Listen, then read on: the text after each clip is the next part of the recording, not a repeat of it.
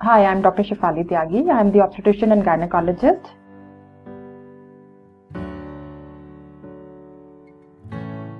By seventh month, the baby's eyes start opening.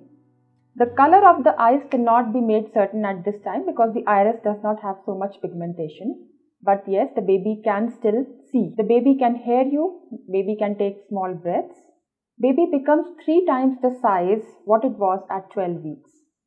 The taste uh, buds become very prominent and function fully, in even more when the baby is born. So the taste is maximum at this. And the functions of the organs continue to develop and get fine tuned.